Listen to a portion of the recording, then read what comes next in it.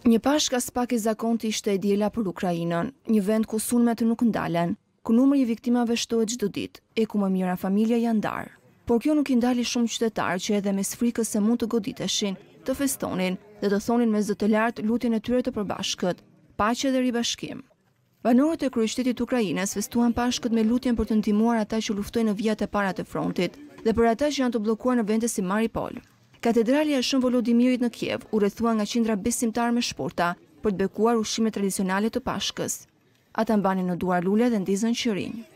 Por jo të gjithë ukrainasit patën mundësi të shkonin në kisha, pasi shumë prej tyre janë shkatërruar nga sulmet ruse.